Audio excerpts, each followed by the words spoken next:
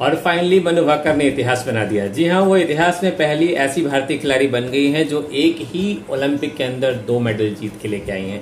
इससे पहले मनु भाकर ने 28 तारीख को 10 मीटर एयर पिस्टल में इंडिविजुअल महिलाओं के राउंड में वुमेन्स राउंड में ब्रॉन्ज मेडल जीता था और इंडिया के लिए पहला पदक इस बार के ओलंपिक्स के लिए लेके आई थी और आज फिर दोबारा मिक्स टीम में सरबजोत सिंह के साथ ब्रॉन्ज मेडल जीता। यानी कि दो ब्रॉन्ज मेडल अब जीत गई हैं मनु भाकर एक ही ओलंपिक पेरिस ओलंपिक 2024 के अंदर।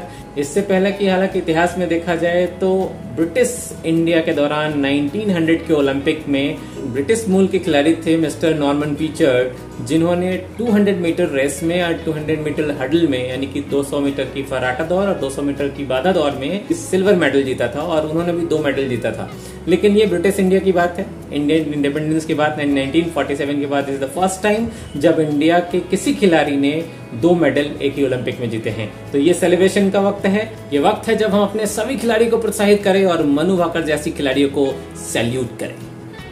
आपको ये वीडियो कैसी लगी? कमेंट बॉक्स में लिख के बताइए। अगर आप ऐसे ही बेहतरीन वीडियो चाहते हैं फाइनेंस पे एजुकेशन से, या किसी भी क्षेत्र से रिलेटेड जिसमें आपका इंटरेस्ट है तो उसे कमेंट बॉक्स में लिख के बताइए। हमारी कोशिश रहेगी कि उसे अगले 24 घंटों के अंदर आपके लिए बेहतरीन वीडियो के रूप में प्रस्तुत किया जाए। अगर आप मेरे चैनल पे पहली बार आए हैं तो प्लीज़ सब्सक्राइब करना मत भूलिएगा। इससे मुझे प्रोत्साहन मिलता है। वीडियो पसंद आया हो तो लाइक कीजिए। साथ में आपसे एक रिक्वेस्ट है कि इस वीडियो को कम से कम एक ऐसे व्यक्ति के साथ शेयर कीजिए, जिनके बारे में सोच के आपको लगता है कि ये वीडियो उनके लिए हेल्पफुल हो सकता है।